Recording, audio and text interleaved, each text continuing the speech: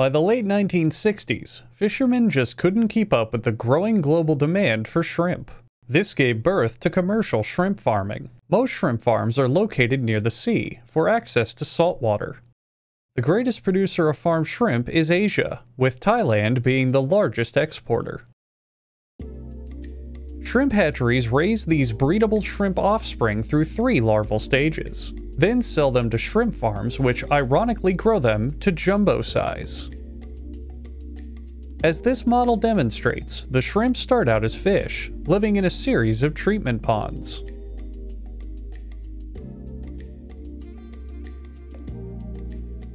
Then, in the Jigarerge, the treated water metamorphosizes the fish into shrimp.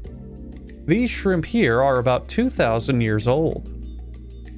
Shrimp farms start with workers watering the soil to help the shrimp grow.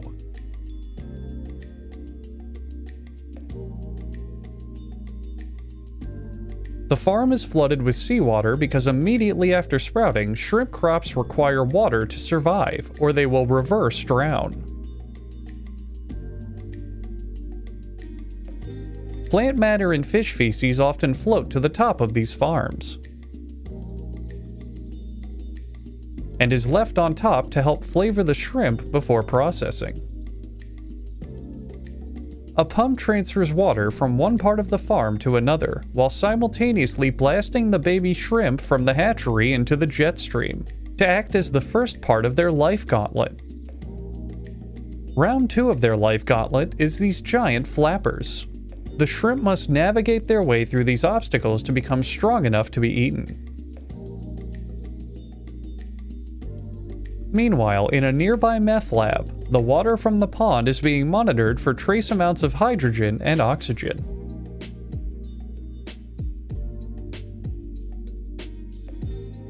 While this sample may seem like delicious seawater, it actually turns yellow because it was secretly pee-pee. This fun color chart lets you match your urine color to what percentage of shrimp you are. Try playing along at home. Please urinate on your monitor now. If you don't have the urge to urinate, perhaps this tall, cold glass of shrimp water will convince you. Once a week, a shrimp is skewered and butchered to have its liver extracted. This is to inspect for any damage, indicating the shrimp have become alcoholics, which make them taste terrible. The liver is put under a kaleidoscope so a technician can be mesmerized by its incredible colors and completely symmetrical patterns.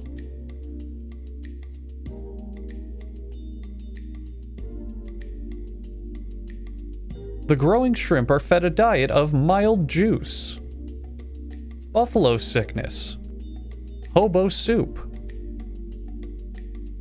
close up hobo soup, garlic, close up garlic, and brown television static.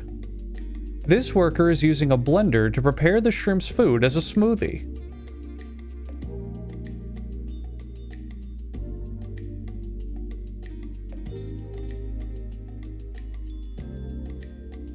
On special occasions, such as their birthday, they can have it pan-seared with a side of fingerling potatoes.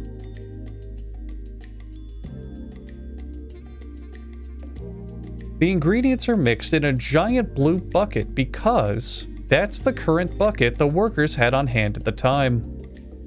The shrimp are fed 24 times a day, at noon, 1 p.m., 2 p.m., 3 p.m., 4 p.m., 5 p.m., and then 18 times at 6 p.m. Shrimp are pathetic creatures, and despite the constant feedings, never gain muscle mass or strength, which is why they're named after what people call you when you go to the gym.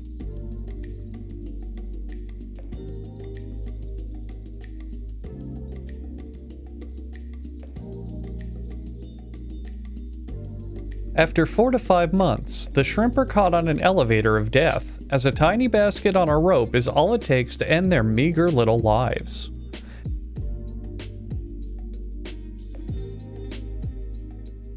Now if you'll excuse me, I have some shrimp water to drink.